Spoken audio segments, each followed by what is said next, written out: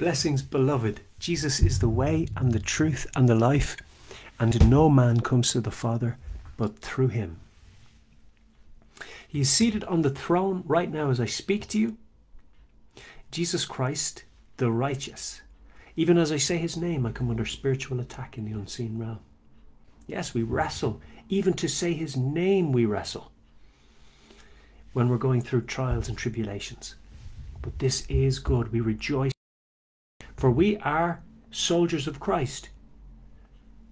And we fight to bring the light to the world or into sight. We fight to bring the light into sight. The sight of the inhabitants of the earth. They want to squeeze the light out of us like a constrictor snake, like a boa constrictor. Because they hate Jesus. You hear them. In passing, you hear them take his name in vain like it's nothing. You hear them OMGs and this and that and the other thing. It's all so that they can be disobedient. That spirit of blasphemy rearing its ugly head in society. How dare they take the name of the living God with irreverence and disrespect? Woe unto them. You see, yesterday I made a video. It's on my channel on YouTube. It's called. The video first is called Call Out the Devil's Bluff. Jesus is my Lord. And the channel is called Word on the Street Ministries. And it's slowly, the subscribership is slowly but surely rising. Isn't that beautiful? People are subscribing to the channel and they're getting the Word of God. So this channel is becoming a church for those who are following the videos. Isn't that amazing? So we can build a church. Even in this evil day, we can build a church. Somebody watching and hearing the Word of God is the church of Jesus Christ. It doesn't have to be 20,000 people stacked in, jammed into a church like this, all in their Sunday best, and who have no relationship with God, good, bad, or indifferent. They think they know Jesus, but they're just there for show and for the networking possibilities and to fit into the culture so they don't st- stick out like a sore thumb. The Chinese have a proverb the nail that sticks out gets hammered. So they're all just trying to blend in. But we want to have a relationship, an actual real relationship with Jesus Christ. Amen? They're in their false anti Christian churches going through the motions. Come out of there. Come out, come out, come out, and come to the Lord Jesus Christ. They, say, they might say, well, Jesus is in that church. It's Christianity, it's Catholicism. What do you mean? What's the difference? People have asked me this question. Now, I don't know whether they were being genuine or not, but the point is that people have been deceived into believing, I was one of them, that Catholicism is Christianity. It's not Christianity. These will be relatively quick fire, but I invite you to read the Bible to make sure that what I'm saying is true. They say, the Bible says, call no man father. What do they call the priest? What do they call the Pope? They call him even Holy Father. Capital H, capital F. How dare they? The Bible says, God is let God be true and every man a liar. They call their Pope the Holy Father, who is infallible. The mouthpiece of God in the earth. Which God are they talking about then? Well, surely they're talking about Satan. The divining serpent. What does the what does Vatican mean? Let's have a look. The headquarters of the Pope. What does Vatican mean?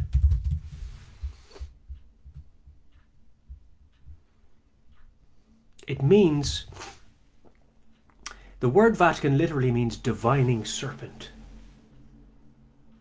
Come on, folks. It's in plain view. There they are. Yeah, we know Jesus in the church pews, stacked in like sardines. Pray, pay, and obey, sticking money in the basket. Yeah, I did my bit, now I'm off to get the spuds. Sitting there with a hangover. Not obeying the word of God. Couldn't care less whether they know God or not. Half of them are involved in the in the witchcraft and, and covens anyway, bringing their children up in it. Sure, this is an abomination before the Lord. This is an apostate church. This has nothing to do with Jesus Christ. So let's wake the nations up. Catholicism is not Christianity. It's paganism with a little bow of Christianity to deceive people. That's nothing to do with our precious Lord. Nothing.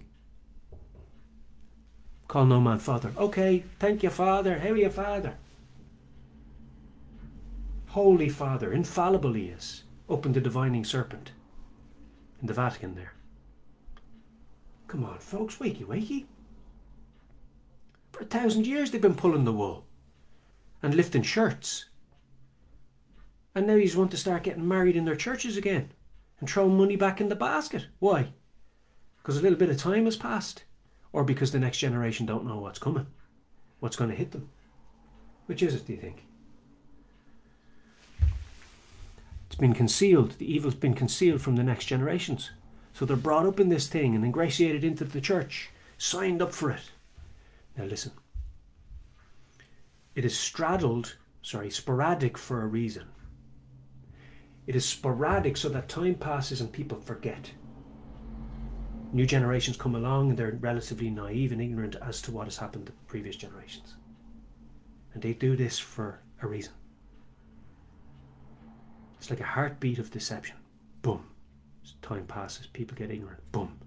Time passes, people get ignorant. Boom. It's cyclical. So let's think. If the Bible says, let God be true and every man a liar, what does that mean? Does that mean we can't trust any priest? Well, no. If you're jumping from extreme to extreme, you're going to try and extrapolate the extreme instead of extrapolating the meaning. You say, well, hang on a minute, it has to be either this or the complete opposite end of the spectrum. Why does it? Hang on a second now. You have to get context. A man can speak the truth, but he's incapable of being perfectly truthful because of his fallen nature. So, why is it said, let God be true and every man a liar? Because men make mistakes. Sometimes they make genuine errors. So, we don't have God on speed dial. No, so we refer to his word. We refer to his word, written word that he sent through the apostles and prophets. Okay? So if all we have from God and the only contact we have with him in terms of actually having a word from him is the written inerrant word of, of God, the Bible, the Holy Bible, why are churches disobeying that? and calling themselves Christian? Well, to deceive, isn't it? And they have such doctrines as the Catholic Catechism. The Bible says, add nothing to the Word of God, nor subtract or detract from it. Take nothing from it, add nothing to it. It is the Word of God, it's inerrant, and it doesn't need any man to embellish it. To add to it, the Catholic Catechism extra biblical text. Asserting to contextualize the Bible and fill in the gaps where the Bible left out. Come on, folks. Come on now. You're going to go back to the rapists? The child murderers? That's where you're going to sit in the pews and put throw the money in their baskets? Really? Purgatory, a place where you go to pay your, your debt before you get out of there and you're allowed into heaven later on. Well, yeah, why not? Isn't that the way the prison works? You go there for a few years, you get out. God is perfect, His judgments are eternal. After the day of judgment, wherever He sends you is your eternal place of abode. It's where you will be forever either in the kingdom of Israel or departed from him into gloomy outer darkness and the hell of fire, the lake of fire. So listen. Purgatory denies the very gospel itself. Jesus came because all men had sinned, for all have sinned and fall short of the glory of God. That's the word of God. For all have sinned and fall short of the glory of God. I think it's Romans 3.23. Just double check that for you. was a time when the Bible didn't have uh, chapter, or sorry, verses like numbered. Yep, yeah, it is. Yeah, Romans three twenty three. For all have sinned and come short of the glory of God, or fall short of the glory of God. So that means that everybody was on their way to hell. So Jesus had to come to pay for the sins of mankind by laying down his life if he wanted to save us, and he did. So he laid his life down, no man took it from him. He chose to come and become a little lower than the angels, live a perfectly sinless life, and come and lay down his life for our sins. Okay? So if Jesus needed to come to die for every man's sins because every man was headed to hell, purgatory denies the need for Jesus to come and pay for every man's sins if a man could go to purgatory and pay them off himself and then get into heaven later. So, purgatory is a gospel denying doctrine. Basically, denies the gospel. So, it can't be Christian. Therefore, it is apostate and heretical, and the Catholic Church is not Christian. It's not a Christian church, folks. It's time to wake up.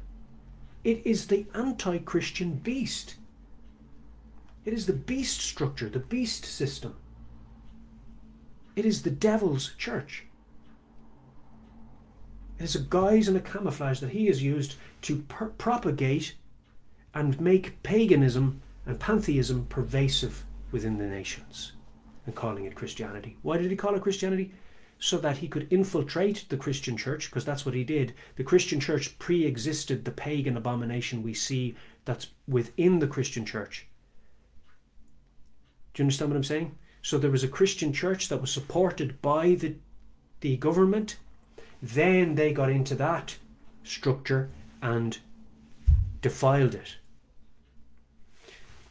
Promoting gradually, little bit by little bit, more and more pagan, um, bi- biblically antithetical practices. So things that would deny and contradict the Bible, they brought them in little bit by little bit, little bit, drips and drabs, dribs and drabs. They brought them in over the generations so that people wouldn't really know they were coming in. And the people that did know they were coming in were in on it anyway. Do you see?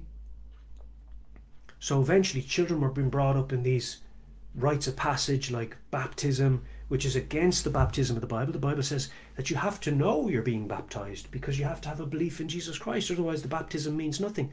But they sprinkle, the, priest, so called priest, sprinkles a bit of water on the baby's head. The baby cries, and everybody says, Hey! But what's happened? That's not a biblical baptism. Study the Word of God. The eunuch asked, What stops me from being baptized? And the eunuch was asked, if or told, if you believe with all of your heart, then you may be baptized. Well, how does a baby believe with all their heart? So here's another paganistic ritual or rite of passage that has nothing to do with Christianity. Neither communion nor confirmation.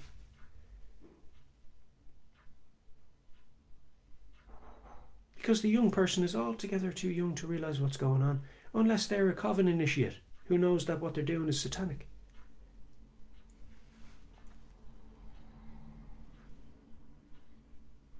Do you understand?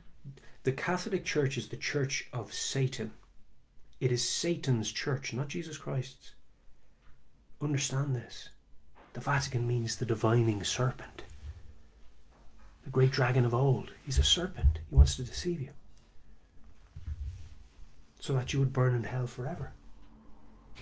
Amen? So don't be deceived.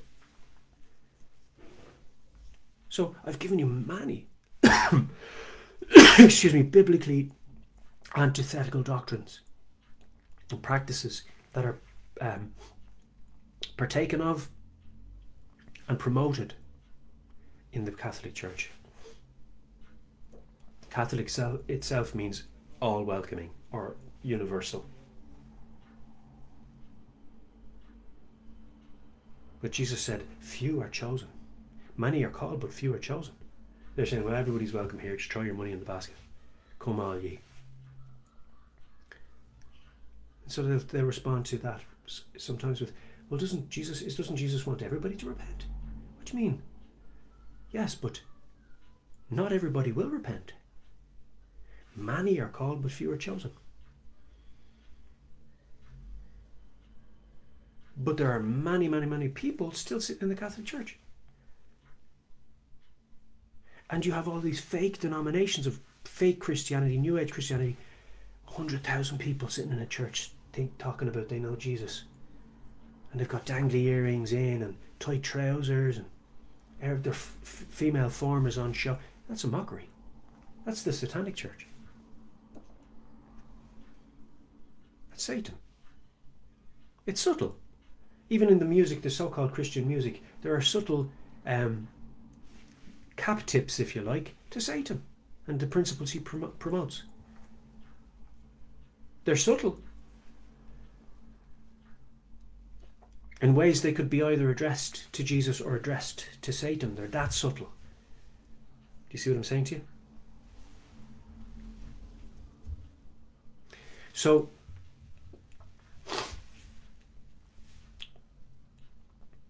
addressed or attributed. What I want to say to you is this. Not that anything that's legitimately attributed to Satan can be legitimately attributed to Jesus. But they can sing things to Satan that would give the impression initially that it could be be sung to Jesus. Understood? It's very subtle in the wording of the song of these worship tunes, these New Age Christian worship tunes. But they're worshipping Satan. So, the Catholic Church is a pagan church. Make no graven images nor bow down to them. They make statues of saints.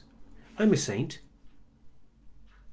You shouldn't make a statue of me, nor bow down to it. Why would you do that? Anybody who believes in Jesus is a saint.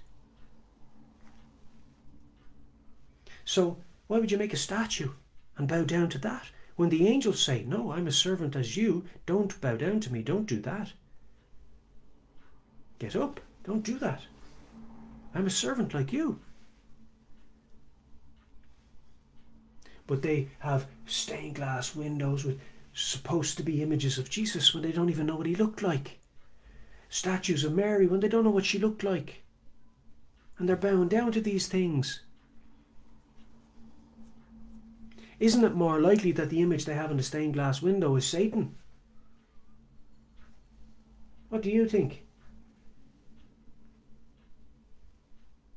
Do you think they'd know what he looked like?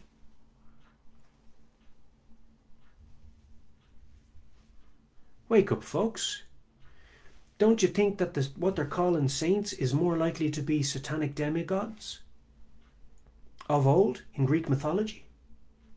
Do your research. There are those who say they resemble them uncannily. There's an uncanny resemblance between those that are said to be um, saints of the Catholic sort and the demigods who are now demons, disembodied, of Greek mythology. They brought in Egypt and Greece and paganism through the Catholic Church, and they're worshipping Satan in that abomination. Yes, the Templars pulled the wool. That's what they've done to you. The Jesuits pulled the wool. They went into the nations, killed the Christians, and erected that abomination. That's what they did. And they went into nations and they took over the place and they said, Right, we're going to build your schools and all. They twisted their arm, an offer they couldn't refuse. We're going to build schools or build a church and build a town around it. So Satan built his church, but called Christianity. What kind of a God needs to attribute worship that's supposed to be to him to another. That's no God at all. That's an abomination of desolation. It's an abomination. That's the beast system. The satanic church mixed with the satanic government. And they want to make that universal now. So they're bringing all of the false world religions in, in that they're not actually attributed to the Most High God, but they're attributed to demons. Hinduism has, has hundreds of thousands of so called gods. But they're now talking about Hinduism, Judaism, Catholicism, which they call Christianity, but of course we know it's not. Hinduism, Buddhism, you name it. They say, well, hold on, we're all just worshipping the same God. Um, why don't we just come together? So now you have, I think it was a Hindu God being wheeled out into a Catholic church. I mean, they're not hiding it. It's absolutely abominable. But it goes to show that the Catholic Church has nothing to do with Christianity. Sure, what um, concord is there between Jesus' church and Buddhism? Or Jesus' church and Hinduism? So Catholicism has nothing to do with Jesus. So when they come out and they say, oh, look, sure, we're all just worshipping the same God, we just do it differently. They're telling the truth, but their God is Satan. It's not Jesus.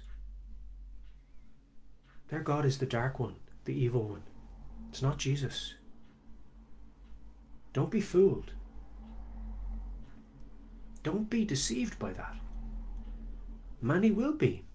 Many have been, historically. And look at the fruits, fruits of that tree. They were raping their children, sending their daughters over because they couldn't keep their flies zipped, sending their daughters to work in laundries, and killing the child, the love child. So the, ch- the daughter couldn't talk about it, and the child wasn't around as evidence for the misbehavior of the one who should know better. These are despicable individuals who refuse to repent, who continue on in their evils, serving the beast, Satan, trying to brush the fallout of their sins under the carpet.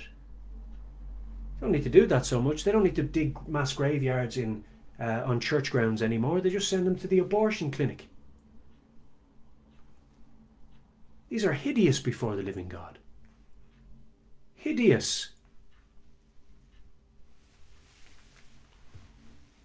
Folks, it is time to wake up and come to Jesus before it is too late. It's time to wake up. The wrath of God does not sleep. He is a righteous and holy God. Come to him before it's too late. You see, when Satan's bluff is called out, he starts talking soberly then. Come on now. Why? What's he saying? Your time is running out. Could get ugly for you. Well, let me say something to Satan. I don't fear you. We're sent into this world as sheep to the slaughter. We know why we're here. We're poured out a living sacrifice. We don't fear Satan or his systems or those who choose to serve him and harm the innocent that don't resist them. I say innocent as in those who have not committed any real time or present or current crimes against them, but they would falsely attribute them to them so that they can bring harm upon them. Falsely accusing people like their father the devil. But let me tell you, I'm not afraid of them. For fear not he who can kill the flesh, but rather fear he who can kill both flesh and soul in hell. Be wise, repent. The Bible says in Romans 10 9, it says, If you confess with your mouth that Jesus is Lord and believe in your heart that God raised him from the dead, you will be saved. There's only one true Christian church, and that is those who believe in Jesus Christ and follow his word and seek to, to the best of their ability, to please Jesus. Blessings, beloved. A holy kiss.